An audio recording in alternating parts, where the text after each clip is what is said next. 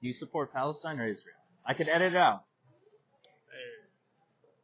I I to be completely honest, I'm so ignorant on the topic, and I know it's such like a there's a lot to it, so I I find it hard to like pick a side.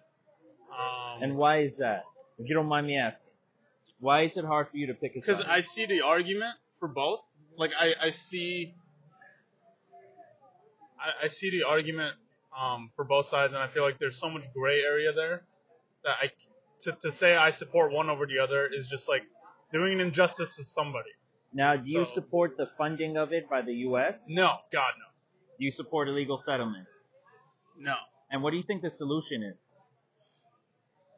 I feel like the ones who are in power in Palestine right now, Which who? wh- Which is who? it's Hamas, and You think they're in power?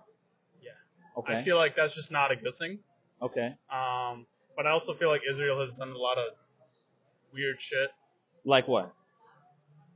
What they've done in the West Bank and So you don't think they're in control? Israel, Yeah. I think they're in control of like some of it. For sure. Just some of it. Yeah. Okay.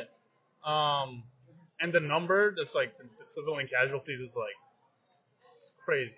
On the Palestinian side? Yeah, it's like it's like insane. So, yeah, Israel does a lot of shit that I don't I don't like. But you still you're in the middle. You're neutral. Yeah, like I can't. I, I feel like for topics like this, it's so easy to pick a side and then vilify the other side, and I feel like you can't. You don't. You can't get the whole story that way.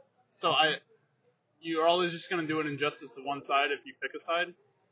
Um, I know it's like not a realistic worldview because this is like my utopia vision. Of course, of course. Of like, you know, Got you. Now, Um, one if you had one message to the world, what would you tell the world?